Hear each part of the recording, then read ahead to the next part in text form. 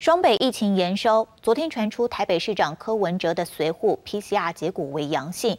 柯文哲今天会先采取居家办公，并且做自我健康监测。而台北市快筛阳车来速筛检站也在今天正式启用。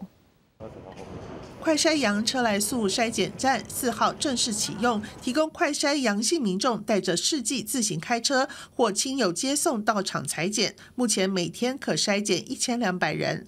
原则上，我们还是希望大家预约，因为如果是快筛阳的话，还会有一些看诊，还有刚刚看到的拿药，所以还是希望大家用预约的方式，民众他不用再去急诊室挤，他可以自己。比较从容的开车子这边过来。台北市三号新增四千八百零六例本土确诊，市府指出，北市各大医学中心会启用快筛阳急门诊，轻重分流，民众拿药不用进到急诊室。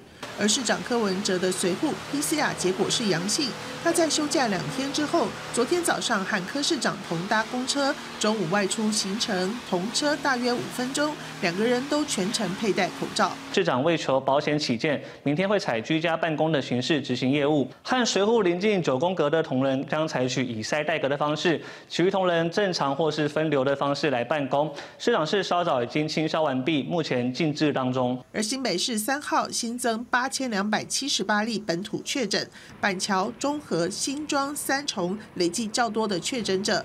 新北市也新增四处社区筛检站，全市共有三十五处筛检站。确诊住院的患者，只要医生评估啊，你没有必要住院了，你可以下转到集中检疫中心或是这个居家照护，我们就会透过防疫机行车来帮各位。转到集中检疫中心后是居家照护。新北市已经开设七个集中检疫中心，提升医疗量能。市府希望让新北先行示范居隔转型，落实居家快筛、自主健康管理。记者黄子杰、陈信龙、张国良、钟建刚综合报道。